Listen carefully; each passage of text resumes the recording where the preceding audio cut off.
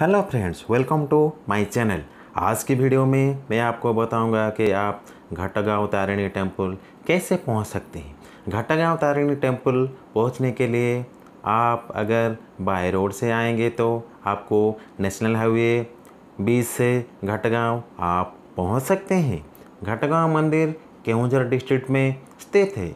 घाटागांव शहर बस से उड़ीसा के बड़े बड़े शहर जैसे भुवनेश्वर, कटक भद्रक बरहमपुर से ये वेल कनेक्टेड है।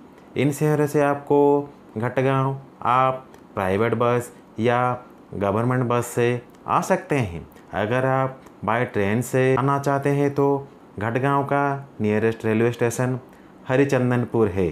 उससे घटगांव की दूरी 16 किलोमीटर है। आप हरिचंदनपुर तक ट्रेन से आने के बाद घटगांव प्राइवेट टैक्सी या कैब से आ सकते हैं। अगर आप फ़्लाइट से घटगांव आना चाहते हैं तो घटगांव में कोई एयरपोर्ट नहीं है। आपको भुवनेश्वर तक फ़्लाइट से आना होगा। उसके बाद आप भुवनेश्वर से घटगांव आ सकते हैं। घटगांव से भुवनेश्वर की दूरी 180 किलोमीटर है। आप भुवनेश्वर आने के बाद भुवनेश्वर से कैब या टैक्सी बुक करके या प्राइवेट बस से घटगांव आ सकते हैं। माँ तारिणी को लोग नडिया रानी करके बुलाते हैं उड़ीसा में। माँ तारिणी की महिमा अपरम्पार है। माँ तारिणी को लोग साक्षी रखकर और मन्नत करके उनको नारियल भेजते हैं।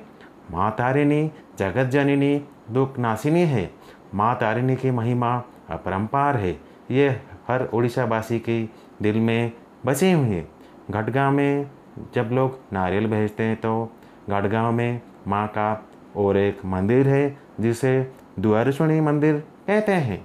उड़ीसा के लोग जो नारियल भेजते हैं, वो इस मंदिर में चढ़ाया जाता है प्रसाद के रूप में। अभी तो मैंने आपको बता दिया कि आप घटगांव कैसे पहुँचेंगे।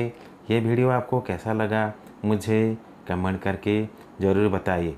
अगर आप चैनल में नए हैं तो चैनल को सब्सक्राइब करना ना भूलें। इससे आपको नई नई वीडियो की जानकारी मिलती रहेगी। Thank you.